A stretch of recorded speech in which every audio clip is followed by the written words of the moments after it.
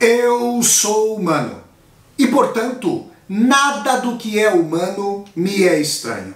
Assim falava o poeta e dramaturgo romano Terêncio, e assim falo eu, Flávio Ricardo Vassoler, escritor, professor, youtuber e nômade, fiel como os pássaros migratórios. E hoje, em mais um vídeo de leitura literária aqui do meu canal do YouTube, Flávio Ricardo Vassoler, eu trago para vocês fragmentos do ensaio Dostoiévski lê Hegel na Sibéria e cai em prantos, do húngaro Laszlo Foldeni. Foldeni se centra nos anos imediatamente posteriores à saída de Dostoiévski da prisão siberiana, a qual ele fora enviado pelo Tsar por ter feito parte do círculo revolucionário de Petrashevsky e nos traz a dimensão ali do diálogo tenso entre Dostoiévski e o filósofo alemão Georg Hegel.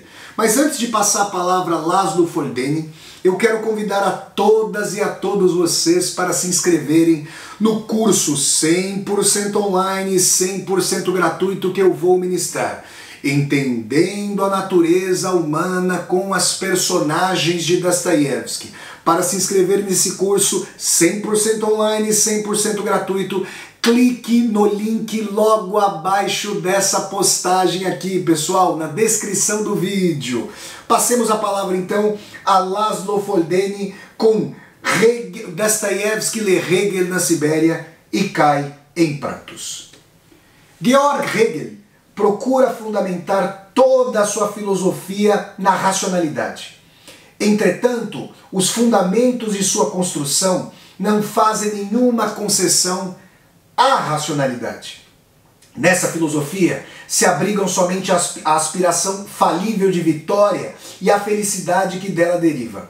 E o olho atento, como devia ser o de Dostoiévski, descobriria nela a experiência secreta do sofrimento, da morte, do fiasco e da derrota aspirações, instintos, receios, medos, sufocamentos, negações. Deles procura emergir a racionalidade da história, como uma cópia romana amansada de uma estátua grega. Por inteiro, naturalmente, ela não consegue emergir. O borbulhar do fundo, a lama, tinge também o mármore através das rachaduras estreitas como fios de cabelo. Hegel apega-se com sofreguidão à felicidade porque não gosta de se ocupar da tristeza. Com sofreguidão, ele se alia à glória porque não aceia tomar consciência do sofrimento dos vencidos. E não fixaria o olhar com perseverança no sucesso se, em segredo, não estivesse convencido da transitoriedade de tudo, inclusive da própria racionalidade da história. O intelecto não é senhor nem criador da liberdade, mas apenas participa dela. A liberdade decide, e o intelecto é somente um instrumento, não a causa. Tudo que é racional ou irracional o é entre limites. A liberdade, por outro lado, a única coisa divina no homem e na mulher, está para além do racional ou do irracional. Só me liberto pelo que me ultrapassa, pelo que me transcende. Eu me reencontro naquilo em que me perco.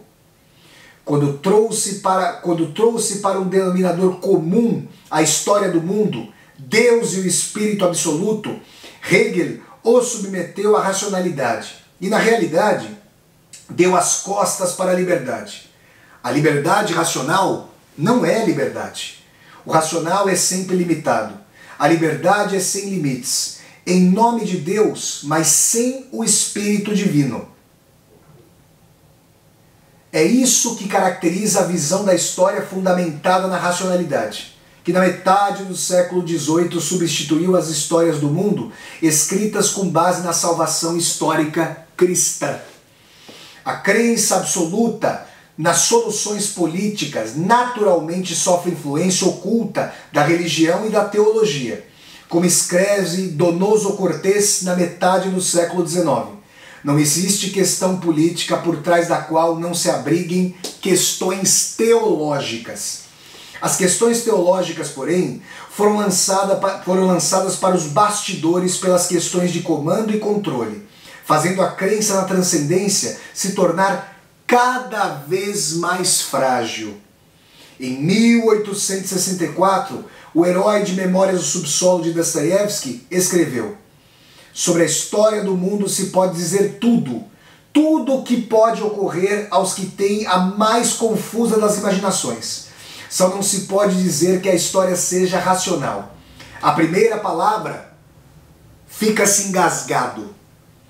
A crença angustiada na racionalidade serve ao terror causado pela falta de Deus, de Deus e a dificuldade de suportá-lo. E se depois disso alguém, como fizeram Dostoiévski e Nietzsche, aponta para a fragilidade da crença e prova, e prova ser o que chamamos de história, em sua maior parte, construção, mecanismo precário de autoproteção, tudo se desfaz.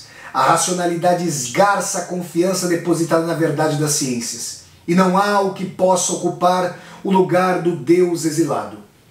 O inferno de Dante, com o qual um século depois Ossip Mandelstam se consola na mesma Sibéria, o grande poeta soviético Ossip Mandelstam. Dostoiévski buscava, no finito, antes de tudo, o infinito.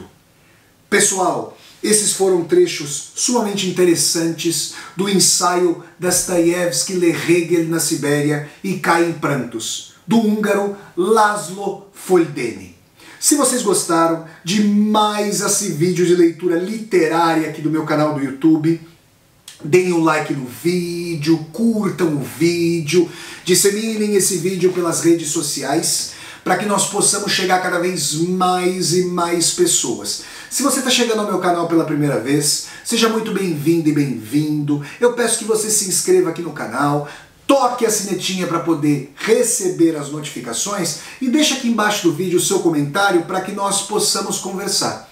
E mais, aqui embaixo desse vídeo você vai encontrar uma tecla chamada Seja Membro. Se você gosta das atividades aqui do meu canal do YouTube, considere a possibilidade de ao clicar na tecla Seja Membro, se tornar um membro ou uma membro humanista aqui do meu canal, para apoiar, segundo sua situação financeira, este meu projeto de universidade aberta no YouTube. Então é isso, pessoal. Até o próximo vídeo de leitura literária, gente. Tchau, tchau!